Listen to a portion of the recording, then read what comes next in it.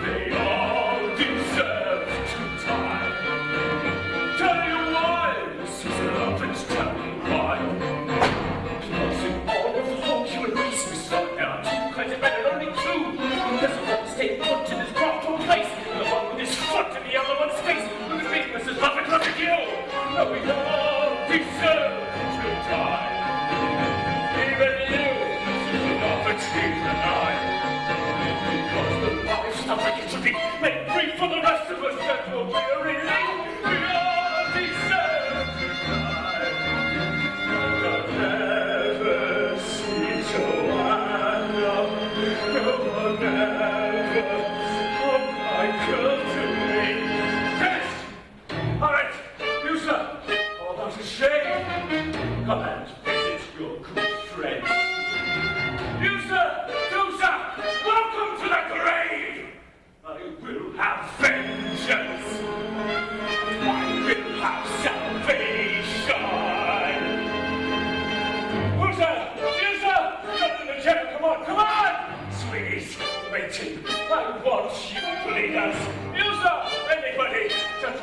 not be shy, not one man, no, not ten men, nor a hundred, can assuage me.